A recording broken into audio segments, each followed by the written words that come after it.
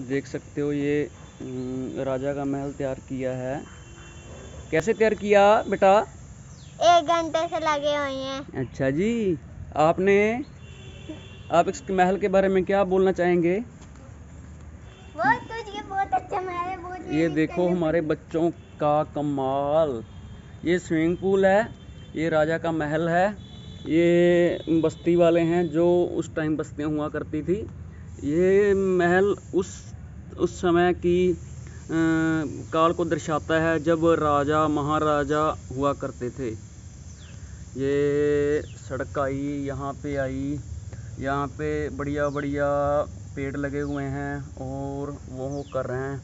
और ये सारे पासे मतलब चार दीवारी है जो आक्रमणकारियों की से सुरक्षा के लिए महल की सुरक्षा के लिए बनाई गई है।